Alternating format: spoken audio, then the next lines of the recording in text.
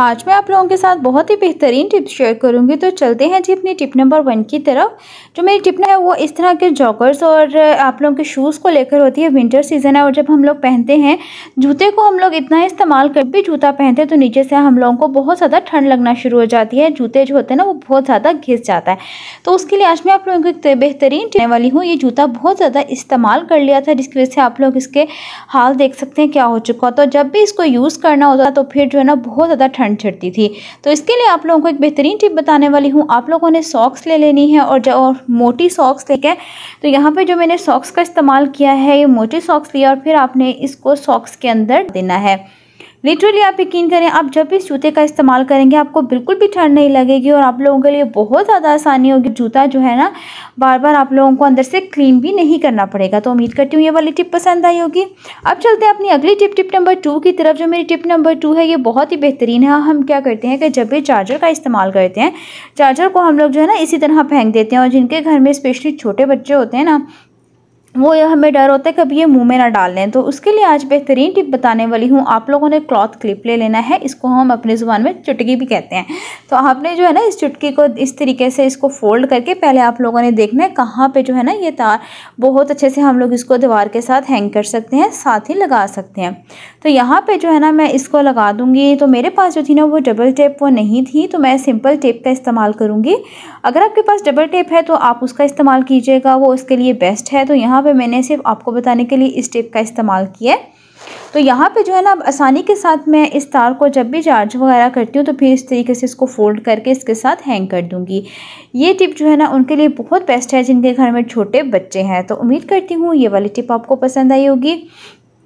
तो देखें कितने अच्छे तरीके से हमने जो तार है ना, उसको अच्छे से समेट लिया है। अब चलते हैं अब अपनी अगली टिप टिप नंबर थ्री की तरफ़। जो मेरी टिप नंबर थ्री है, वो चावल को लेकर है। अक्सर हम जब घर में चावल बॉईल करते हैं या हम दाल भी बनाते हैं, उसके अलावा पुलाव बना लें, बिरयानी बना लें और जब हम रख के दूसरे कामों में लग जाते हैं, भूल जाते हैं तो चावल जो होता है ना, वो नीचे लग जाता है उसमें से जलने की स्मेल आना शुरू हो जाती है। तो अगर आपके साथ भी इस तरीके से हो ना तो आप लोगों ने पता है फटाफट क्या करना है कि चावलों को ना किसी भी प्लेट वगैरह में, जितने चावल हों, उनको उस हिसाब से किसी बड़ी प्लेट में निकाल लेना है। और निकालने के बाद ना आपने कोशिश करनी है कि फ़ौरन जो है ना इसको निकाल लें ताकि स्मेल जो है ना जलने की वो इन चावलों के अंदर ना जाए। आप ये तरीका दाल के साथ भी कर सकते हैं, ठीक है? तो यहाँ पे जो है ना थोड़ी सी इसकी भाप निकल जाए, फिर हम इसके अंदर एक चीज़ ऐड करेंगे। करना ये है आप लोगों ने इसके अंदर ऐड कर देनी है लौंग। लौंग ऐड करने के बाद जो है, एक अदद पत्ता आपने इसके अंदर ये ऐड कर देना है। करने के बाद ये आपने इसको छोड़ देना है दस मिनट के लिए। लिटरली इसके अंदर जितनी स्मेल होगी ना, वो सारी ख़त्म हो जाएगी। आप जो है ना, इस टिप को ज़रूर ट्राई करना। इन आप लोगों को बहुत पसंद आएगी। अगली जो मेरी टिप नंबर फोर है, ये बहुत इंपॉर्टेंट टिप है और ये प्याज को लेकर है। प्याज के आज मैं आपको इतने बेशुमार फ़ायदे बताने वाली हूँ ना कि आप लोग जो है ना हैरान रह जाएँगे और आपके हज़ारों रुपए की बचत होगी। तो यहाँ पे जो है ना हम लोग प्याज के छिलके लेंगे और जो बाकी प्याज होगा ना उसको आप लोगों ने अपनी हांडी बनाने में इस्तेमाल करना है। यहाँ पे हम प्याज के छिलकों का इस्तेमाल करेंगे। आप लोगों ने प्याज के जो है ना दो तीन दिन का प्याज को इकट्ठा कर लेना है, ठीक है? उसके छिलकों से हम जो है ना एक बहुत ही बेहतरीन जो है एक सोल्यूशन बनाने वाले हैं।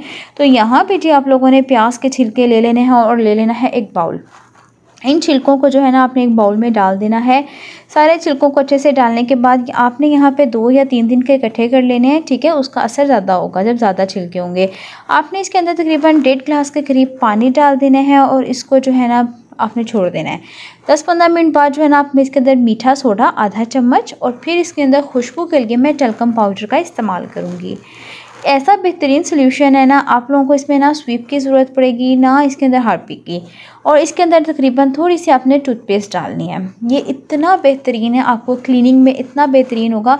ये जो हमारे नलके होते हैं वॉशरूम के, हम लोग पता क्या करते हैं? इसके ऊपर स्वीप और तेज़ाब डाल डाल कर ना उसका सत्यानाश कर देते हैं तो ये बहुत ज़्यादा ख़राब हो जाते हैं जिसकी वजह से। फिर आपने कोई भी शॉपर ले लेना है और उस पर इस तरह से इसके अंदर छोटे छोटे होल्स कर लेने हैं तो होल्स करने के बाद आपने इसको फ्रिज में रख देना है। ठीक है तो आप लोगों ने इसको पूरी रात के लिए फ्रिज में रखना है। मैंने यहाँ पे पाँच से छः घंटे के लिए रखा था। तो ये देख लें आप लोग, अब आपने इसको स्पून से अच्छे से मिक्स करना है और इसको स्टेन कर लेना है।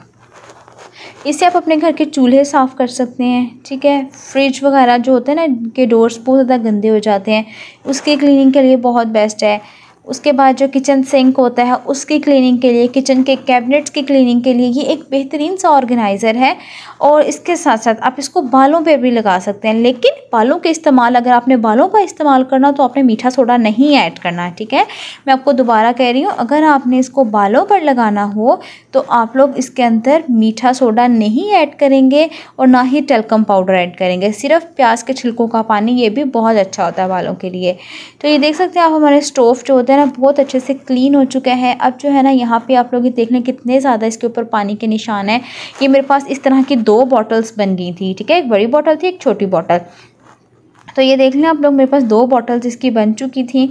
और ये देखें जो हमारा किचन का सिंक का नलका था, कितने अच्छे से साफ़ हो चुके हैं और कितना अच्छा से चमक रहा है, ठीक है? इसके ऊपर कोई निशान भी नहीं है। इसी तरह जो है मैं किचन के कैबिनेट की भी क्लीनिंग करूँगी और फ्रिज के जो डोर्स होते हैं, उसकी भी क्लीनिंग करूँगी। तो आप लोग जो है ना, इस टिप को एक दफ़ा ज़रूर ट्राई करके देखना। और अच्छा जब भी आप लोगों ने जो है ना किचन के कैबिनेट की और साथ ही साथ जो होता है ना फ्रिज के डोर की क्लीनिंग करनी हो ना तो आप लोगों ने इसके ऊपर स्प्रे नहीं करना, ठीक है? आप लोगों ने थोड़ा सा उसके ऊपर डालना है और फिर इसकी क्लीनिंग करनी है इस तरीके से। तो उम्मीद करती हूँ आज की वीडियो पसंद आई होगी। वीडियो पसंद आई तो वीडियो को लाइक करना शेयर करना चैनल को भी सब्सक्राइब करना और मेरे डिस्क्रिप्शन बॉक्स में टिकटॉक और फेसबुक का इंस्टाग्राम का लिंक है, उनको भी फॉलो करना। ओके जी अल्लाह हाफिज़।